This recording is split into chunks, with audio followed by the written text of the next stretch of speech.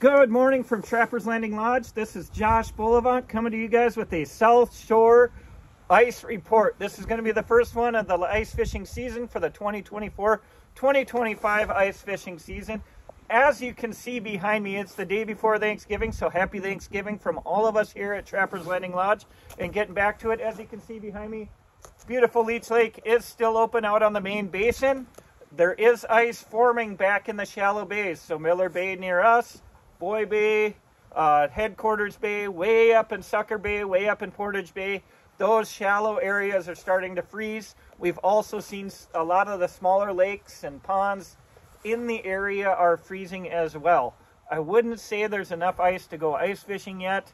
Looking ahead though, Friday, Saturday, Sunday, or even tomorrow, our Thanksgiving Turkey Day, uh, is going to have lows in the single digits and even a possible negative temperatures coming at us. So that'll for sure make some ice. That'll for sure hopefully lock up this big area. It's going to be windy for us the next couple of days, so I probably won't see this quite freeze yet. That wind will probably keep it open. But looking into early next week, I'm guessing on our next report next week, you will see ice behind me. So we're looking forward to it. Weather temps look great for us.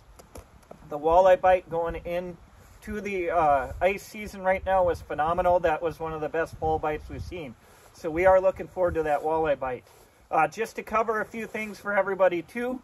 Uh, ice season and ice packages are live on our website, www.trapperslandinglodge.com.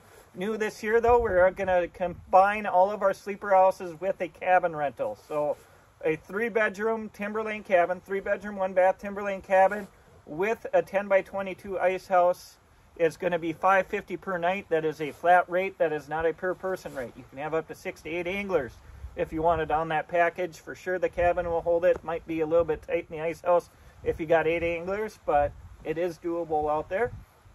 And then our three bedroom lake homes with three bedroom, three and a half bath lake homes with an ice house going to be 650 a night. And then our brand new beach homes with an ice house, three bedroom, two and a half bath beach homes are going to be 750 per night.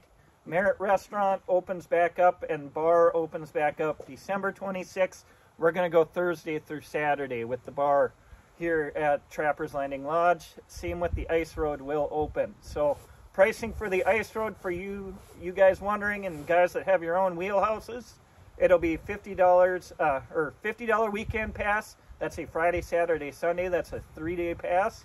Otherwise, it'll be $20 per day for any other time with that one. And then it will be a $225 season pass we also have free parking down. We make a big parking lot right here uh, down below me here that you can park on the ice. We also have onshore parking for free for you guys. So don't charge for that. We just ask that you keep your contact information in there. So uh, looking forward to that. If you want to talk more ice fishing, I will be down at the St. Paul Ice Fishing Show next weekend, December 6th through the 8th. So make sure you guys are down there uh, checking out that. That's a great show. There'll be some great seminars. There's always some great deals for ice fishing. Great primer. Would love to talk with you guys about Leech Lake ice fishing. So we'll give you one more picture here. A beautiful Leech Lake behind me. Sorry about that as my hands are there. Still wide open as of the day before Thanksgiving, but it is looking a lot like winter. And we are looking forward to the ice fishing season starting December 26th right here at Trappers Landing Lodge. Stay tuned. We'll be posting these weekly uh, and did a few multi-weekly once the ice season going, keeping you guys informed on the Leech Lake area.